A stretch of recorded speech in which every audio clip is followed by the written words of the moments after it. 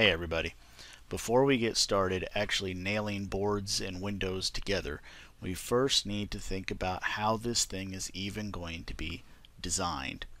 Now I think that there's a very obvious reason for why it's difficult to find any sort of step-by-step -step instructions on building a reclaimed window greenhouse.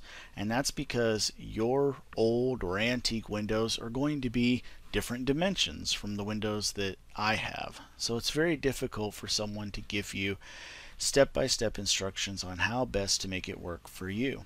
There are also other variables such as sun angle and things to consider that are going to be very individual for your location.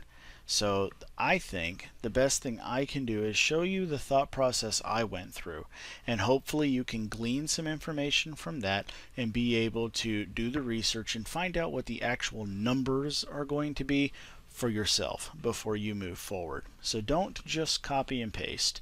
Think about uh, what I'm showing you and how you can best put that to use for yourself. Well, the first thing I think that you need to do is actually take some inventory of what it is you are working with.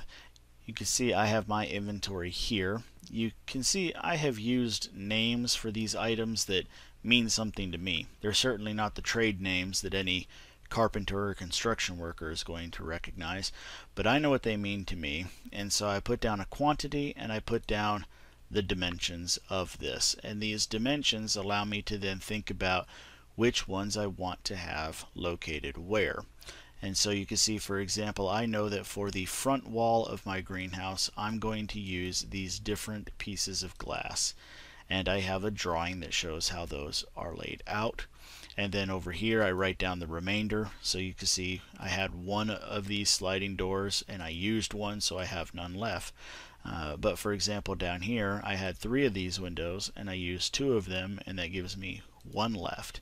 Then I have another wall which you'll see in the design later and you can see I'm adding those in and then I have the sides and how many I'm using there and you can generally see how I'm trying to keep track of what glass I have available to me and where I used it. But how do you actually figure out what this design is going to look like? For that, I want to take you over first to a website that I highly recommend called suncalc.org. Now, this is a fun little website uh, that gives you, among other things, the angle of the sun at whatever time of day you prefer. So, for example, uh, here we are, and you can zoom this in to whatever distance that you want.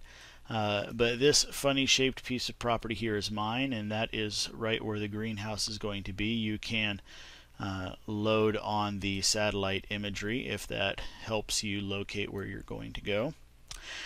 And you can set the date and time. So what I'm specifically looking for in this example is the highest altitude the sun will be at, the highest angle of the sun on the shortest day of the year, the winter solstice. So I'm going to change my date here to December 21st, which is the winter solstice. Now we're on the winter solstice and I can up here grab the sun and move it. Now pay close attention because only on the solstice is the sun actually uh, at its highest point at noon. But if you look over here at the altitude, we can see that we're at 34 degrees. So the highest the sun will be in the sky is 34 degrees off the ground that day. So 34 degrees. And then you can change this. Let's say you wanted to know uh, for the month previous. So if we go back to November and hit there, and again we can drag the sun up top until it points directly down. And we can see that in November, the highest it gets is 37 and a half degrees. Now, if you don't pay much attention to the sun, then it might surprise you how much this changes. But let's go back just a couple more months to August and see just how dramatically this changes. So now if we point this directly south, we now see the sun is at 69 and a half degrees. So this is what we're looking for are these angles.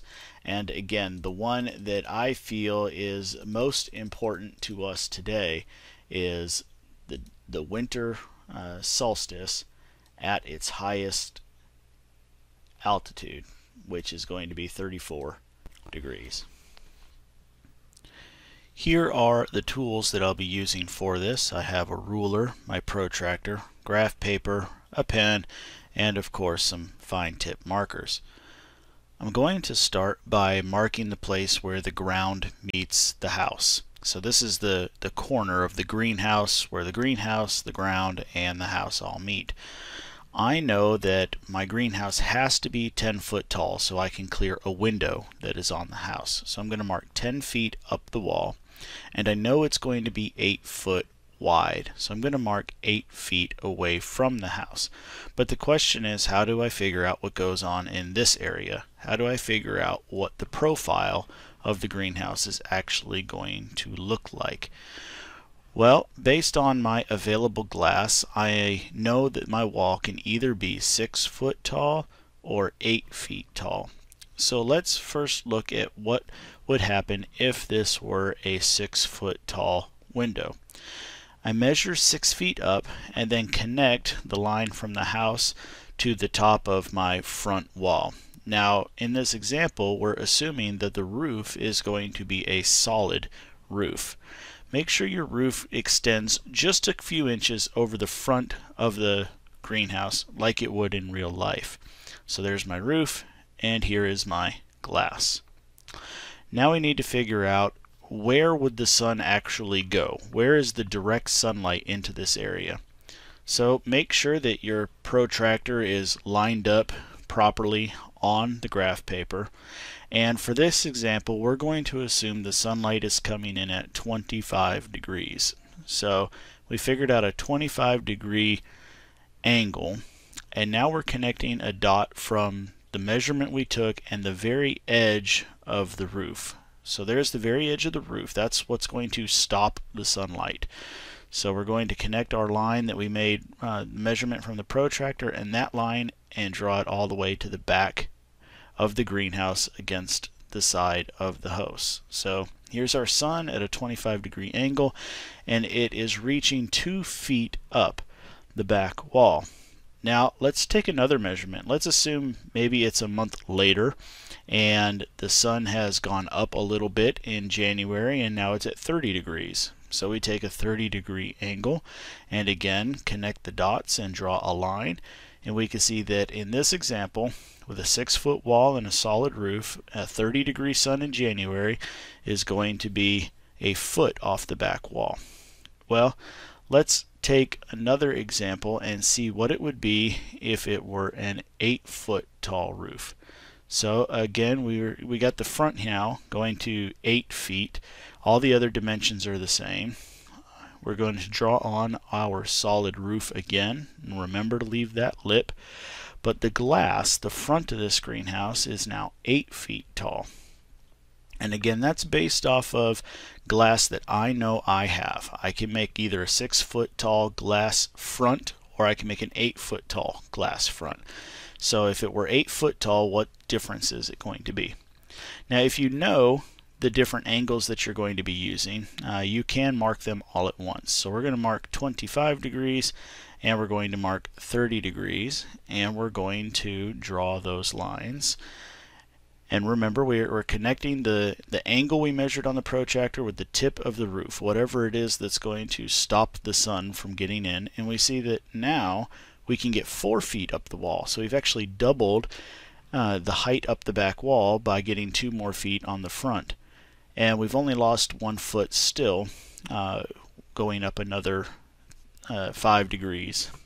So that's an eight foot glass wall gives us that. So that's the difference that we're seeing between a six foot wall and an eight foot wall. And these are the kind of things I'm thinking about trying to make a design choice. But let's say we want to try to figure out what if we want maximum sun exposure? Uh, so we have a sun coming in at 25 degrees. We know we have our sun at 25 degrees uh, in our example here, uh, coming in and we want to have a wall that is exactly 90 degrees to that. It's exactly perpendicular or complementary angle to the sun. Well, that means we need a wall that is 65 degrees. So we can use our protractor and uh, putting uh, the center of the protractor where the wall meets the ground, we're, we're just going to count backwards. Uh, for easy math's sake, 10, 20, and 5 degrees. And that's getting us our 65 degree angle so to speak. And we'll draw uh, a line between those points. But how long of a line? Well it depends how long we want the wall to be. So since we have this graph paper that we're using we can simply lay our ruler down on the graph paper. And uh, we're doing this as one line per foot. So if we are going to assume a six foot tall wall, we can just mark where that would be on our ruler and then put our ruler between those two dots, the ground where the glass would meet the ground and our 65 degree angle. And then we can mark where our six foot mark is on our ruler and draw a line between those points. So now we have a six foot wall at a 65 degree angle, which is a 90 degree complementary angle to the 25 degree angle of the sun. Stay with me here. It's complicated, but it's easy as soon as you understand it. But look at what that ends up giving us for a roof. We end up with this funny angle and a funny span and I don't know about you but what I think about is how hard this might be to construct. So I want to come up with something that lets me have the straight walls in the first design but the light exposure of the second design. And what I've come up with is this. This is a, a, uh, split design. So I have six foot of elevation in the very front wall, then it goes back four feet, elevates up, and there's another area right here where there's some windows, and then goes back to the wall. So if you look at all these different lines, what you're looking at are the uh, sun exposures through the different panes of glass, the two different areas, the very front wall and the windows in the upper section at the various parts of the year. Uh, starting at the very top or rightmost, it goes September, October, November, and December. And those angles are almost exactly the same if you then work your way back up January, February, and March. So for all winter, I have light in my greenhouse. Well, I'm sorry if that was as clear as mud. I didn't think I'd be very good at explaining it, and I am confident that there is somebody out there who knows a more clear and concise way of figuring this type of a thing out. But those are the thought process I went through to figure out what I'm going to do. So now we can move forward and start thinking about actually putting the boards together because we have a design to work with. Again, my design is based on two primary things. I wanted to keep my walls where my glass is going to be at 90 degrees. I did not want to have to figure out how I was going to put heavy panes of glass in a wall that was at an angle. But I still wanted to have maximum light exposure. So I get to have glass on the front wall and then a little bit further back a small section of glass. I have some of my glass panes that are about 18 inches wide. I can lay them down on their side and make a long skinny section of glass that will be a second point of entry for the light and get direct light all the way to the back wall or to the wall of the house. So that is the design I am going to go with. If you're ready to see how some of this actually goes together, make sure that you are subscribed to the channel and follow this playlist so that you don't miss the next video when it comes out. Thank you so much for watching. We'll see you next time.